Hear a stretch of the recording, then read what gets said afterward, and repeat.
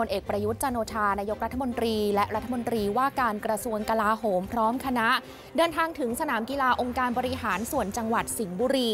โดยมีนายชัยวุฒิธนาคมานุสรรัฐมนตรี DES และสสสิงห์บุรี ในฐานะเจ้าของพื้นที่